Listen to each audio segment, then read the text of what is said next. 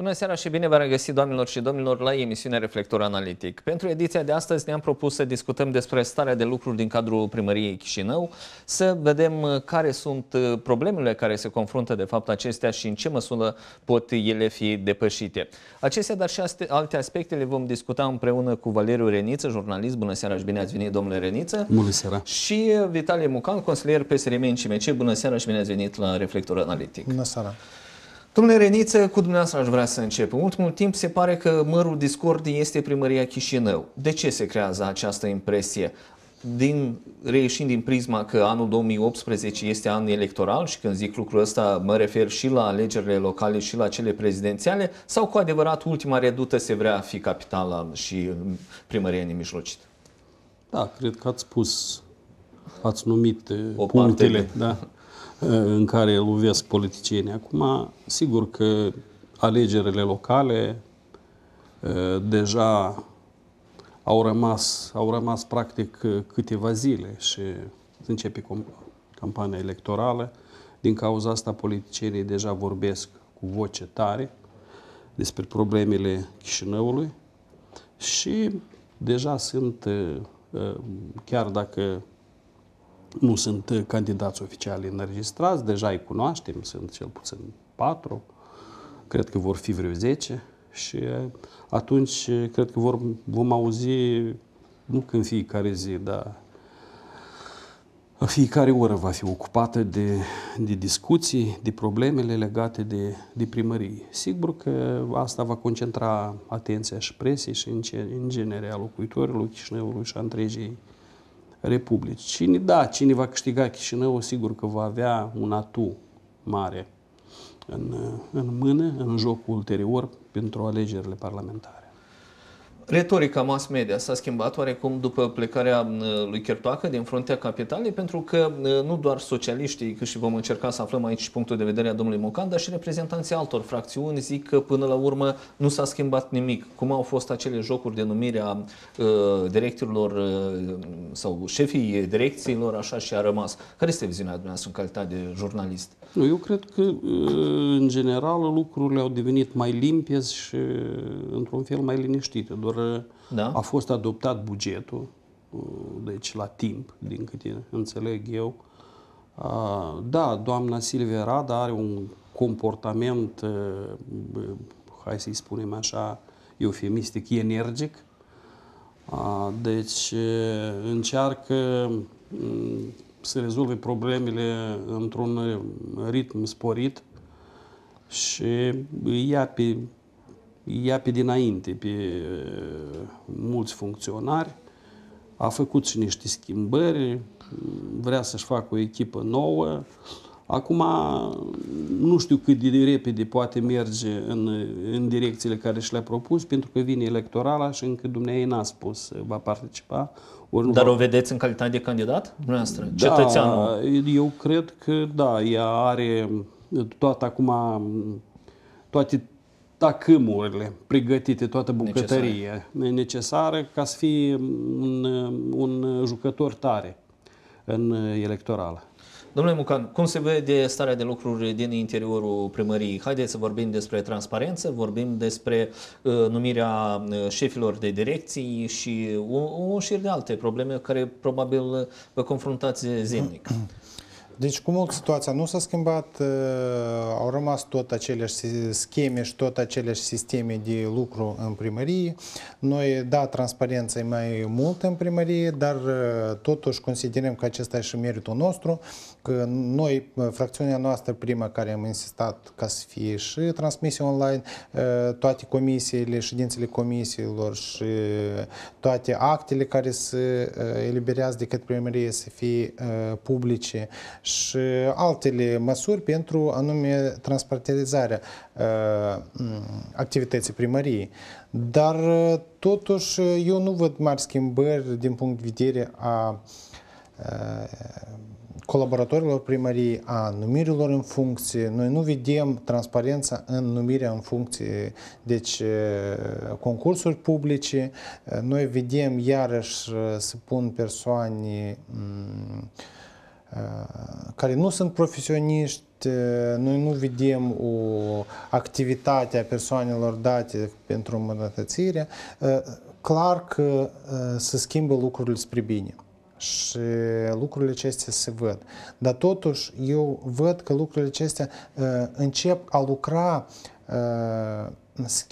încep a lucra anume decizii care au fost aprobate de către Consiliu și cu privire la amenajările în curțile blocului și instalarea terenurilor de joacă și multe alte, altele care s-au lucrat Consiliul ultimii doi ani și acum se văd rezultate. Domnule Mocan, dumneavoastră vorbeați și când zic lucrul ăsta fac referire la întreaga fracțiune din CMC.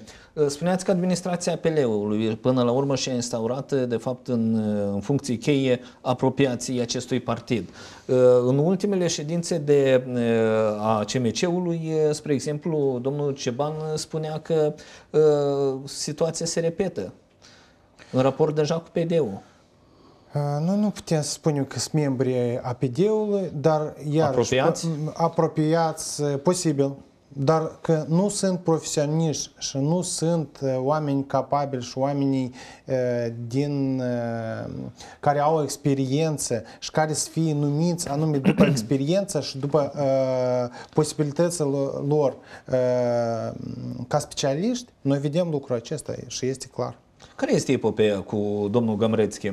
A fost un ping-pong până la urmă în, între declarații, între uh, și doamna Radu și domnul Gamrețchi, care uh, doamna Radu spunea că nu, vor, nu va primi penalii la primărie, în ce măsură uh, se conformează instanței de judecată și după aceea aflăm și punctul de vedere a domnului Reniță. Există niște uh, ordine pe care până la urmă fiecare dintre noi zicem că nu le discutăm, suntem obligați a le executa. E așa sau nu? Dați să ne clarificăm cu situația dată și spunem toate punctele. Deci, Spuneți. domnul Gamriescu a fost eliberat de către Dorin Chirtoacă. Da. După ce a fost uh, inițiat uh, dosar penal. Uh, deci, judecata nu s-a expus ca el să fie restabilit în funcție. Judecata s-a expus că el are dreptul de a deține funcții publice. Deci și eu am drept și oricare persoană uh, care nu este judecată are dreptul de să deține funcție. Și aceast, acest lucru nu înseamnă că el a să fie restabilit la funcția care o activat. Și din punctul meu de vedere că uh, eu foarte bine cunosc dosarul, nu dosarul, dar nume cauza dată și după părerea mea, uh, domnul Gamlescu trebuie să stea la pușcărie mulți ani dar nu să, să îmble prin primărie și... Din decizia punct... a fost una selectivă, să înțeleg? Că... Da, eu socot că decizia a fost selectivă și părerea mea că acesta este un joc politic. Domnule Reniță, de iure și de facto, Gamrețche poate reveni la primărie? Deci, probabil că de iure ar putea reveni dacă are accepția șefului, pentru că, deci, am înțeles că a, a, a fost absolvit de, de această vină sau cel puțin poate deține funcții. Dar eu consider că atunci când într-o funcție de demnitate publică nu că ai fi încălcat și ești judecat, dar dacă ai atras asupra ta bănuiala procuraturii deci dacă a ieșit un scandal mare din și a fost care, o care, rezonabilă. Că, da, da, care a reieșit din activitatea ta, cel mai bine este, mai ales în cazul ăsta, când și procesul de judecată nu s-a sfârșit, și mai bine să păstrezi o de, distanță, deci față de funcția pe care ai ocupat-o, deci să te ții mai departe de ea, cel puțin așa e corect. Deci, de fapt, funcționarul respectiv ar trebui de sine stătător să se suspendeze sau să se autosuspendeze din funcții, e normal atunci când există un proces penal, un proces de, de judecată. Așa este normal. Numai judecata poate spune cât e de vinovat și în ce este vinovat domnul Gamrețchi. Noi nu putem noi trebuie nu, să mergem pe ideea de prezumție nevinovăție. Da, noi putem avea opinii, dar sigur că nu putem uh, să-l expediem acolo unde ne-am dorit noi. Dar pentru dumneavoastră, aceste ultime demisii din cadrul primăriei Chișinău v-a ridicat semne de întrebare? Cred că ultima dintre ele este a lui Vladimir Maiduc, da, din șeful direcției administrative. Într-o perioadă relativ scurtă au fost, dacă nu mă așa memoria, vreo 5 demisii. Nu și-au făcut chiar temele pentru acasă? Sau Eu a cred fost că este aspectul în politic? dreptul primarului. Ea, deci este în perioada când își face echipa. Și eu spuneam că totuși ritmurile astea, ea a avut o perioadă când a evaluat uh, lucrurile în primărie, ce și cum merge, are o experiență mai veche de manager, asta i-a ajutat probabil să descurce mai repede, dar totodată ritmurile, în opinia mea, erau sporite, erau prea mari, deci este un timp foarte scurt ca să fa- poți face o echipă bună. Și acum probabil că bă, plătește tribut la graba asta, pentru că uh, ea e un om și pe unul îl poți vedea chiar în trei zile, dacă nu l-ai verificat bine până atunci. Ar fi fost bine până atunci să fie verificat. Dacă nu merge, nu, nu neapărat că nu face nu, Față. cu activitate bună, ori nu face față. Mai există și, și probleme de coexistență, chiar biologică. Dacă poți activa împreună, ori nu. Sunt chestii, mă rog, legate de psihologie, ca să nu intrăm în toate amănuntele. Nu pot ști, dar bă, faptul că ia oameni la lucru și și concediază oameni, este o competență a ei. Eu știu, acolo trebuie să intri în detalii ca să te poți descurca dacă a făcut bine ori n-a făcut bine. Până la urmă este important treaba să meargă. Probabil că o să ia alt om acolo care va face față, în opinia ei. Domnule Mucan, întrebarea poate e una retorică. De ce a plecat domnul Maiduc? E ultimul în această listă. Da, e ultimul, uh, își schimbă echipa, asta e bine. Uh, Probabil e bine, deci vine persoană nouă uh, și își schimbă echipa ca să pornească lucruri din loc. Uh, Noi cu toții știm care e situația în Chișinău și vedem cu toții necesitatea de a schimba lucruri spre bine și cu pași mari noi trebuie să mergem acum ca să uh, schimbăm situația în municipiul Chișinău. Dar apare întrebarea cheie. Domniei, ce caută în primărie? Dacă e numită ilegal, dacă n-ar, uh, nu merită, nu că nu merită, dar e numită ilegal. Și, și, și despre care echipă, despre care schimbări poate să, me- să fie vorba. Deci, e clar, uh, acum sunt eliberați din funcții uh, oamenii din sistemul Chirtoac. Sistemul Chirtoacă a arătat uh, întotdeauna, noi spunem că nu numai Chirtoacă e divină, Ci întreg aparatul. Da, ci întreg aparatul, anume sistemul acest uh, corupt, uh, care nu face față, care nu lucra, As- m, uh, diferite opinii sunt, dar vinovat era sistem. Și oamenii aceștia fac parte din sistemul acela și sistemul trebuie de schimbat și de schimbat de urgență. Dar nu de persoană care este numită ilegal de către domnul Grozavu și Păi iată, anticipați întrebarea mea. Poate ea numi acești șefi de direcții în condițiile în care și asupra ei planează misterul de numire în funcție? Și de ce se merge pe ideea de numire și nu de concurs propriu-zis? Ca să particip, nu știu, și eu, dumneavoastră, domnul Reniță, oricine dintre noi. Corect, acestea sunt întrebări. Că noi întotdeauna am, uh, am dorit ca să fie numiți în funcție anume profesioniști, anume oamenii care uh, pot schimba lucrurile, oamenii care uh, merită să fie numiți între aceste, uh, între aceste funcții. Dar noi ce vedem? Noi vedem, iarăși, sunt numiți interimari, uh, fără concursuri, fără fără capacități sau fără anume ca să fie specialiști. Domnule Reniță, juriștii eh, ridicați atunci mari semn de întrebare cu interimatul doamnei eh, primar eh, Radu. Până la urmă, dânsa are acest drept eh, legal de a numi și interimatul șefilor de funcție și aceeași întrebare pe care o adresasem domnului Mucan. De ce nu se organizează concursuri ca să participăm fiecare dintre noi? Cei care doresc.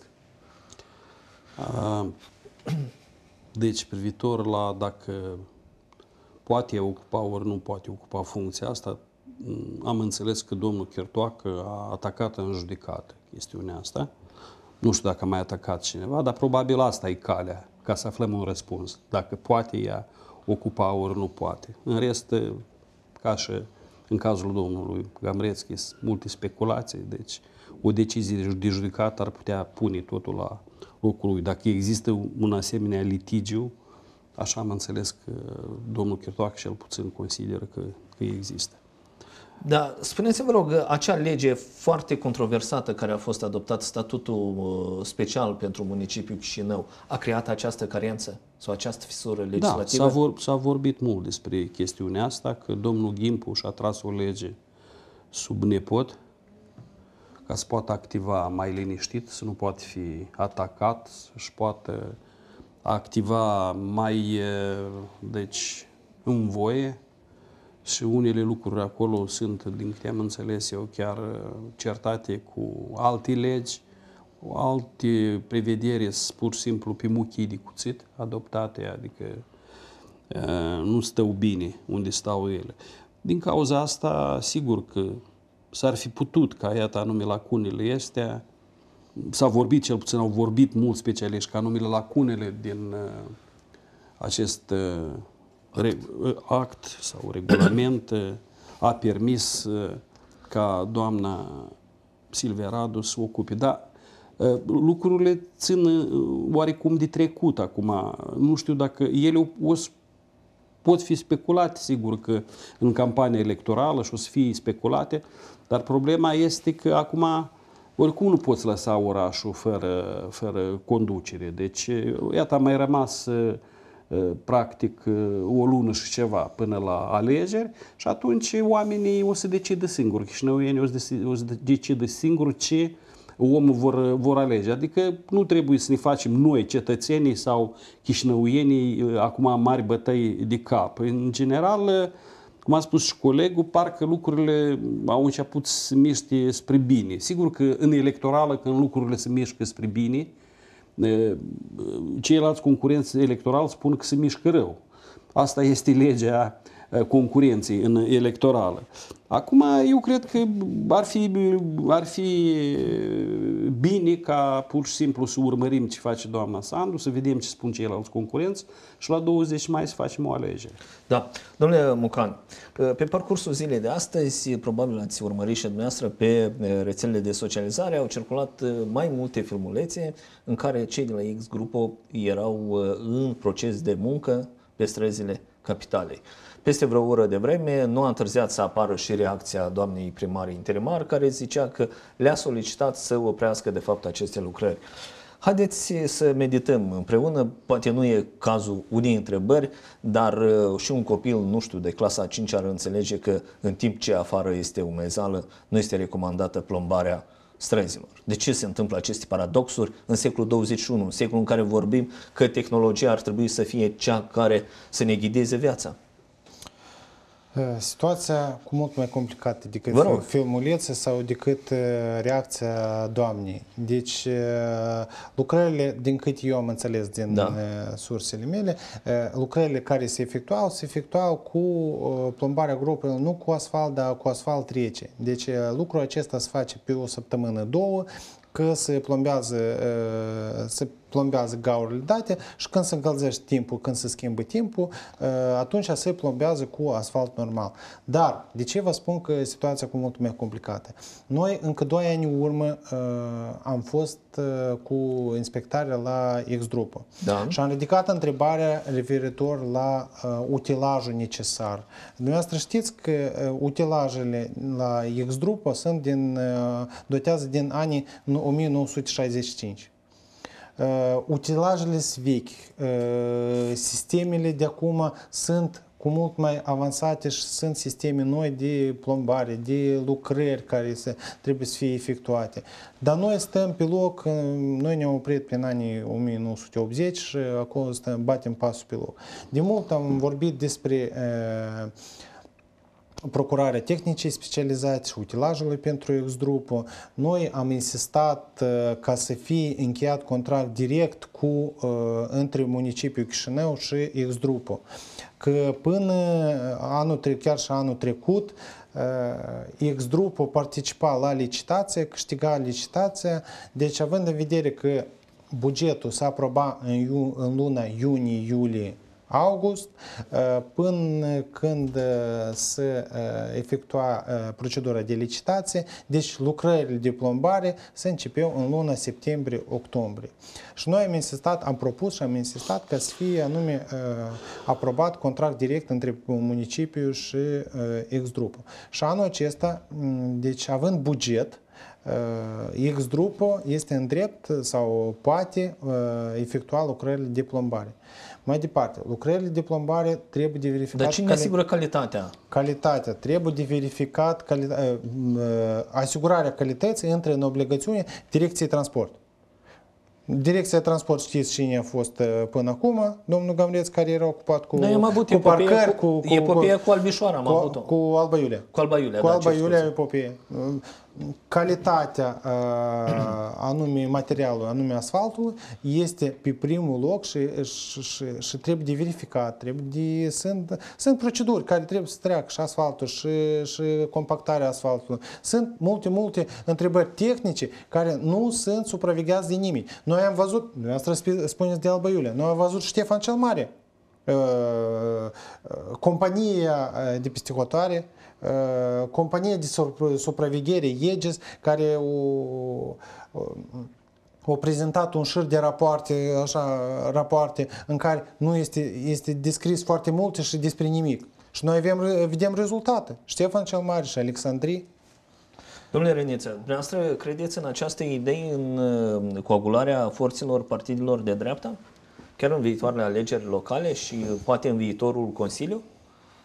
Sau asta este un mit, mm, iarăși, electoral? Nu cred, mai ales că uh, dreapta vrea să folosească pur și simplu alegerile uh, electorale locale din Chișinău. Eu nu văd, uh, cel puțin din ceea ce din primele mesaje care le-a lansat Andrei Năstase, că pe dânsul ar interesa primăria. El, deci, îl interesează, de fapt, creșterea ratingului partidului lui, trebuie cumva să justifice atâtea finanțe uh, care au fost uh, investite în acest partid și are un rating foarte mic și atât el se folosește de campania asta electorală. Eu cred că chișinăuienii nu-l văd uh, ca primar. Ceea ce a spus el, cel puțin primele mesaje, sunt departe de interesele chișinăuienilor, adică sunt niște... Dar mesajul PL-ului cum poate fi decodificat? Mesajul PL-ului... E un strigă de disperare? Sau? Da, PL-ul ar face bine, ar fi făcut bine să nu intre în acest joc, pentru că este foarte proaspăt, nu că este foarte proaspăt, dar uh, domnul Munteanu, deci, își a înainteat candidatura și în paralel uh, este procesul cu Chirtoacă, care va alimenta mereu uh, atitudini negative față de, de domnul Munteanu. Deci el de asta nu se poate scăpa. Toți vor spune că el a venit să salveze schemele uh, făcute de uh, liberale în, despre care a vorbit și colegul meu, că mai, mai persistă, mai există, nu pot fi, nu se poate îmbla la dânsele atât de, de tare au fost legate. Deci el sigur că e un băiat tânăr și energic, Uh, dar uh, toate deci, scandalurile care i s-au întâmplat uh, domnului Gimpu în Parlament, toate scandalurile din primărie și toată trena asta negativă care din primărie care deci merge după primar și deci fracțiunea respectivă din în Consiliul Municipal, toate astea vor apăsa tare. Deci el din cauza asta șansele lor tot vor fi serios diminuate de trecutul uh, glorios a fostului primar. Da, dar uh, doamna Radu, în calitate de uh, candidat, ziceam la începutul acestei emisiuni, o vedeți independentă sau sub o simbolistică politică? Nu, cred că, cred că totuși șansa dumneiei este să meargă una pe, pe deci, principii foarte clare de conducător a orașului, de stăpân a orașului, de manager. Deci astea ar fi, mm, hai să spunem, componentele imaginii electorale care iar ar avantaja-o. Uh, ar fi bine să nu se lege de un partid, poate cineva din partid chiar cred că o să o, o, să o sprijine, Dar, dar în genere, eu cred că ea ca manager, așa cum s-a arătat, are destule șanse, așa cum le are și candidatul Partidului Socialist. Deocamdată din oamenii, din candidații care au fost înaintați, după cum s-au prezentat până acum, nu știu dacă nu vor mai apărea piese grele, jucători de forță, să vedem. Dar așa cum din perspectiva de azi, deci jucătorii principale par a fi Silvia Radu și cu Ion Ceban. Domnule Renițe, vreau să rămânem în albea acestui, acestei sintagme pe care ați rostit-o dumneavoastră și chiar mi-am notat-o, cea de manager a doamnei Radu. Uh-huh. Nu vi s-a creat impresia că se calcă pe aceleași greble ca și Chertoacă. Vorbesc aici despre administrarea unor direcții care și-au demonstrat ineficiența. Vorbim aici despre faptul că multe domenii care au generat discuții interminabile, chiar și problema alimentelor, să ne aducem aminte, undeva a fost înghețată, dar nu a fost soluționată. Da, sunt foarte multe lucruri nerezolvate, rămase moștenire și de la Chertoacă, rămasă moștenire și încă de la fostul primar Urechean, pentru că în general, sistemul ăsta de administrare a orașului Chișinău, eu cred că el a rămas cam același încă din timpul sovietic. Nu s-a îmblat cardinal uh, la acest sistem ca să-l optimizeze, ca să-l facă mai uh, viabil, viabil să-l optimizeze și așa mai departe. De ce probleme sunt? Dacă îl comparăm, uh, uh, nu în toate aspectele, dar la da. ceea ce v-ați referit dumneavoastră, Silvia uh, Radu manager și Chertoacă manager. Păi despre Chertoacă ca manager aproape că nu putem vorbi. El a fost mai mult un om politic și a avut niște oameni probabil care încercau să ocupe de primărie și toate directivele cum să conducă primărie vineau, nu, nu, nu genera el ideile și directivele, vineau de la partid de la deci, superiorul lui în da. clanul familial. Domnule Mucan, haideți să rămânem la aceeași sintagmă. Managerul uh, Radu, până la urmă ziceam și problema alimentelor. A fost oarecum înghețată. Ferita Sfântul să, se, să revină iarăși cu aceeași intensitate. Suntem siguri astăzi ce consumă copiii noștri? Suntem siguri uh, cu ce ne tratăm și așa mai departe? Deci, referitor la manager, uh, v-am mai spus că cadrele care vin în primărie, deci nu, uh, nu conduce, nu, nu face tot lucrul în primărie o persoană, un manager, cât uh, de bun n-ar fi, dar face echipa. Echipa, noi nu vedem acum la moment o echipă profesionistă și o echipă care să înțeleagă cum stau lucrurile și să aibă o viziune referitor la schimbările din primărie. Foarte multe întrebări sunt înghețate și care au rămas. Dar noi nu vedem viziuni ca să fie schimbate sistemul sau să fie schimbată anume viziunile și atitudine față de lucrurile cum stau în primărie. Deci Asta că persoana uh, se fotografiază pe un tractor sau cheltuie mai mulți bani uh, pentru sare sau material antiderapant sau alte lucrări de... Uh, nu schimbă situația în general. Noi n-am văzut o strategie, o viziune referitor la venituri, în primul rând, a primăriei. Deci, noi nu trebuie să uităm că bugetul primăriei are foarte mari probleme. Și pe timpul sistemului Chertoac au fost luate foarte multe împrumuturi. Și noi acum împrumuturile acestea trebuie să le întoarcem. Dar pentru aceasta, pentru acest lucru, trebuie să fie majorate, ca să dezvoltăm capitală, noi trebuie să majorăm venituri. Dacă să avem bani, noi să avem ce cheltui și avem, să avem o modernizare a orașului.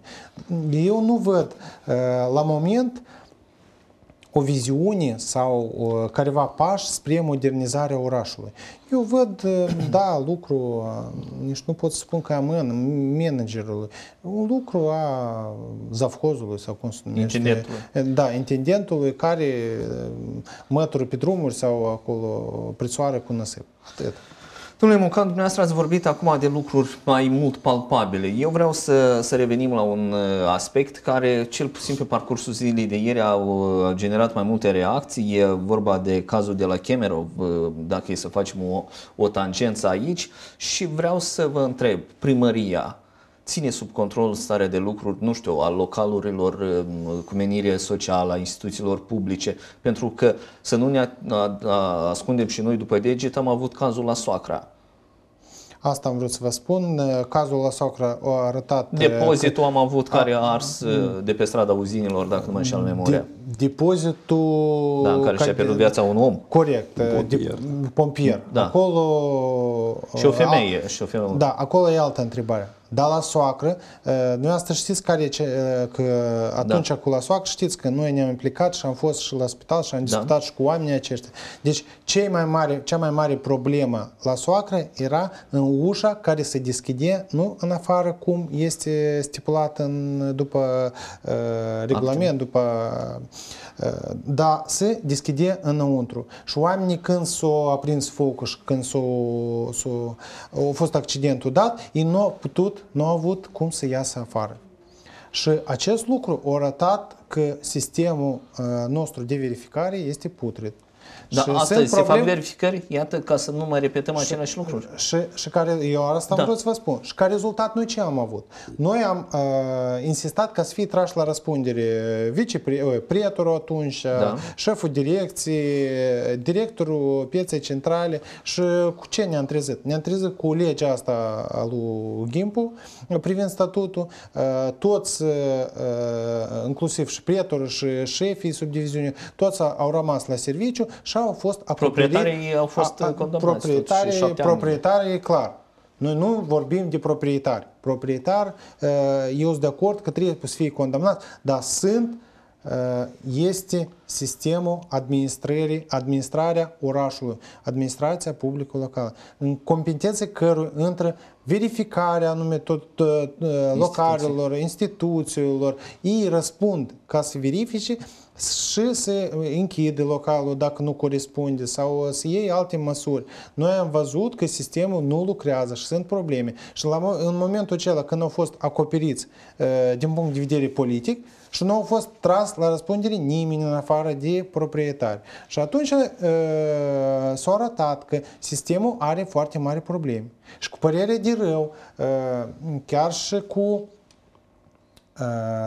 proiectul eficiență energetică. Când domnul Chetoacă a venit la primărie, noi am ridicat întrebarea și am pus un șir de întrebări. Da, da proiectul e bun, trebuie implementat, dar uitați-vă, dați să vedem de ce material. Și când uh, am văzut că materialul e penoplast, care uh, poate să aprinde, inflamabil. poate să inflamabil, atunci noi am pus întrebări că nu se poate de folosit. La aceea am primit răspuns că voi stați acolo, că noi să facem așa cum să fie convenabil și să avem 5 bănuți în plus. Domnule Reniță, Regenie zice că mai avem 10 minute. E practic aceeași întrebare vreau să, să vă adresez. Ne trezim din somnul în care suntem noi, vorbesc metaforic, doar atunci când avem pierderi de vieți omenești, se fac aceste verificări, cât de informați sunteți că cei de la situații excepționale și alte organe abilitate merg să-și facă meseria. Domnul Mucan vorbea de înspre un întreg aparat uh, al, al primăriei care trebuie să uh, fie pe teren.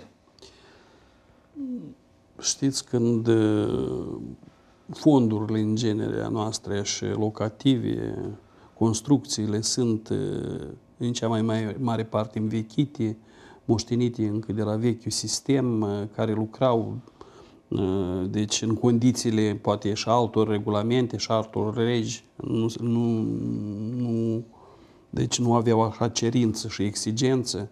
Sigur că tot timpul, tot timpul o să rămânem uh, în urmă.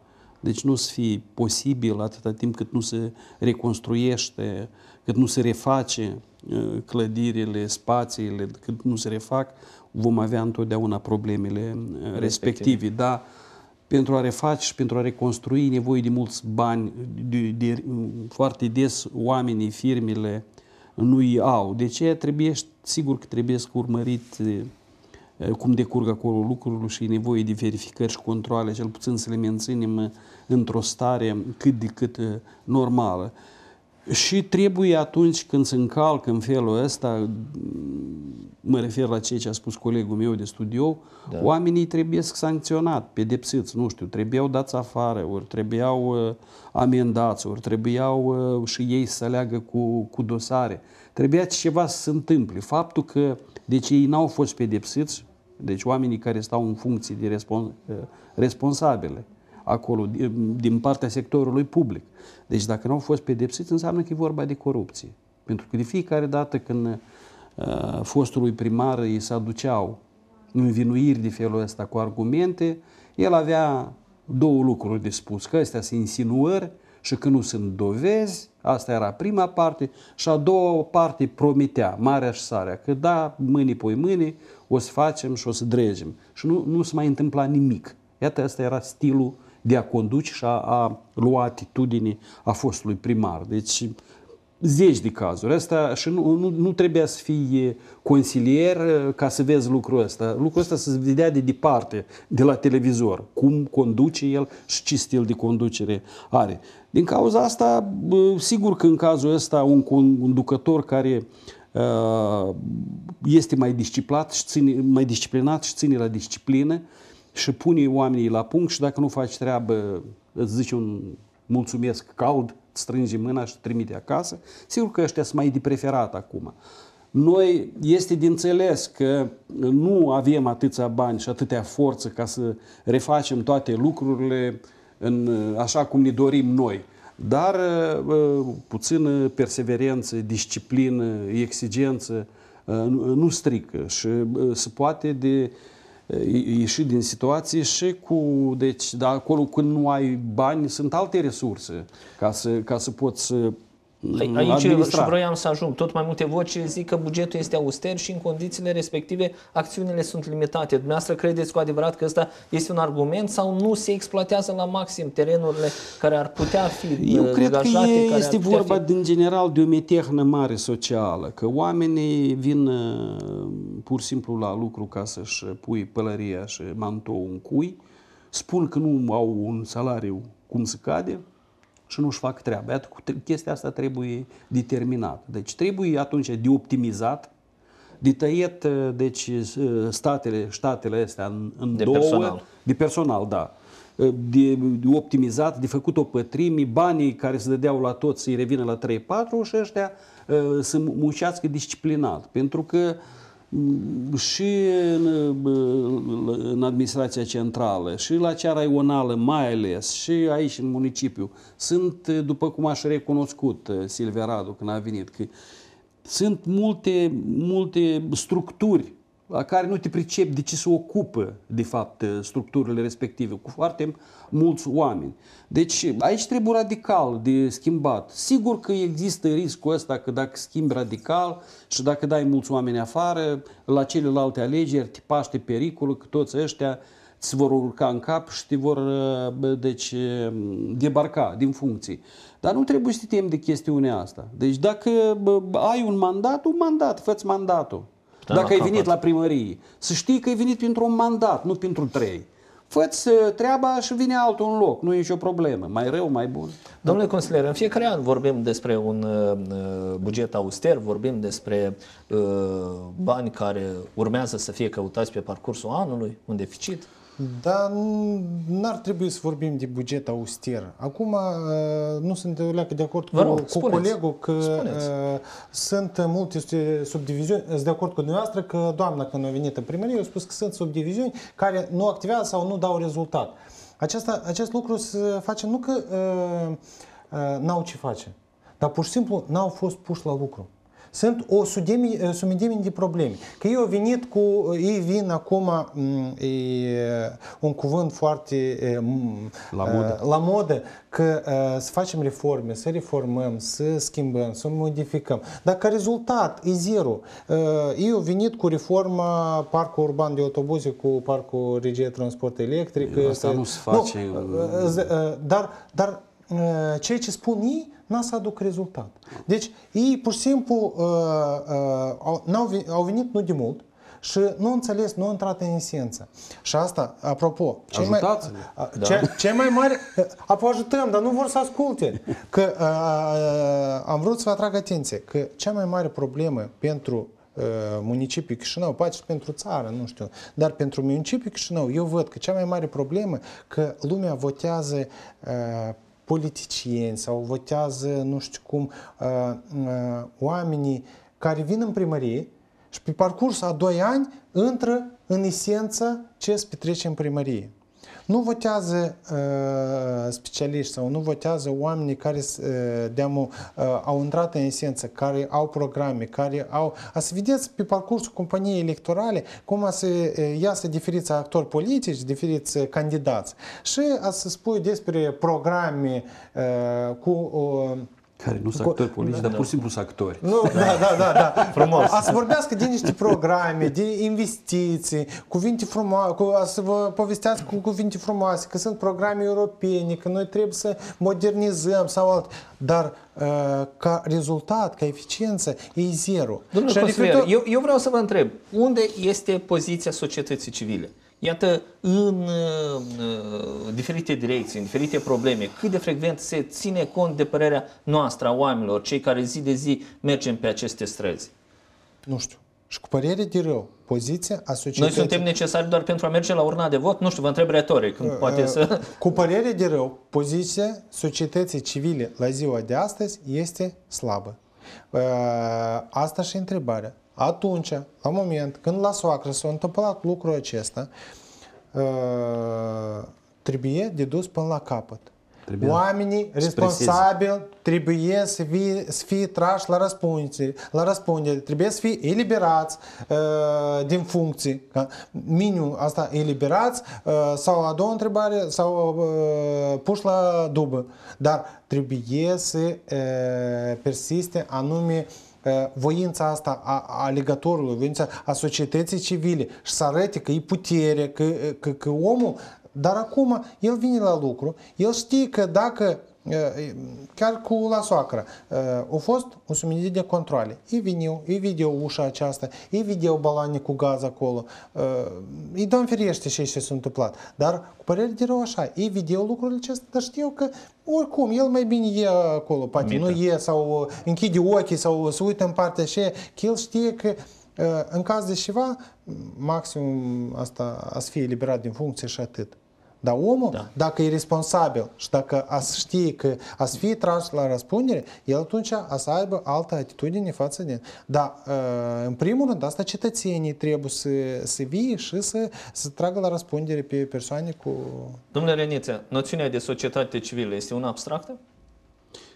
Păi, Sau e amorfă? La noi, deci, ea abia prinde contur și știți cum, dacă vorbim despre societatea civilă, cea care o vedem noi zilnic la televizor, ea nu este o societate civilă care vine din sânul societății propriu zis. Ea este o societate civilă ținută, finanțată prin, din bani de pistihotare și oricum oricum, oricât de mult am vrea noi, oricum responsabilitatea o să fie nu în fața societății, dar în fața granturilor date. Deci rapoartele se vor face în primul rând nu cele în fața societății, dar se vor face rapoarte financiare. Este nevoie pentru ca lucrurile să meargă bine și administrația simte tot timpul că deci este supravegheată, este nevoie de presiune cetățenilor. Dar noi, cetățenii, încă nu s-au învățat să facă presiunile astea și criticile societății civile, a experților sunt pur și simplu, nu sunt întotdeauna luate în serios, nu întotdeauna sunt venite la timp, v-am spus de ce, din cauza că societatea civilă a fost, din păcate, născută nu de societate, dar de, prin, mă rog, de organizațiile speciale, structurile speciale occidentale. Dar aceste rapoarte financiare la care ați făcut dumneavoastră referire reprezintă un condice a faptului că ni s-a mai adăugat o anumită povară fiscală și pe care urmează să o re- rambursăm? Nu întotdeauna. Societăți, organizațiile societăților civile, de regulă, uh, activează pe granturi. Uh, De acolo uh, se extrage, nu întotdeauna, nu se impozitează așa cum se impozitează o granturile nu se impozitează așa cum se impo- impozitează alte finanțe. Uh, Dar uh, oricum, eu mă refeream la Da. la, la partea asta proastă, pentru că ar trebui să, să, cu timpul să apară o societate civilă veritabilă care ar crește pe, pe, pe banii businessmanilor, pe banii cetățenilor noștri. Domnule consilier, cred că ultima întrebare în cadrul acestei emisiuni, ce urmează să întreprindă fracțiunea PSRM pentru a aduce lumină în aceste stări de lucruri și când zic lucrul ăsta mă refer la numirea șefilor de direcții, numire și nu concurs, mă refer la uh, alte chestiuni care ridică incertitudine, pentru că uh, spunea și domnul Reniță la începutul acestei emisiuni, pe de o parte este un an electoral, unii vor zice că încercați să obțineți anumite dividende politice, ceilalți vor încerca să vadă anumite acțiuni concrete, palpabile. Mergeți în instanță de judecată? Deci noi vom vedea, azi luăm decizie la fracțiune referitor la instanțele de judicat sau alte, dar ceea ce se referă la lumină în starea lucrurilor, cum stau lucrurile în primărie, noi de acum de trei ani cu acest lucru ne ocupăm. Noi și cu parcările am scos la iveală și cu multe alte scheme și întotdeauna erau lângă cetățeni și de asta și v-am spus, noi suntem încrezuți că totuși lucrurile se vor schimba spre bine și noi vedem lucrurile acestea de acum să schimb spre bine, noi vedem uh, rezultate care va, nu sunt multe rezultate, ca să fie clar, noi nu suntem la guvernare ca să obținem careva rezultate și să arătăm. Dar domnule Mocan, domnule Reniță, cu părere de rău, aici trebuie să pun punct ediției Reflector Analitic. Vă aștept și cu alte ocazii pentru a continua cele începute astăzi. Stimați telespectatori, vă mulțumesc pentru atenția de care dați dovadă, rămâneți alături de noi.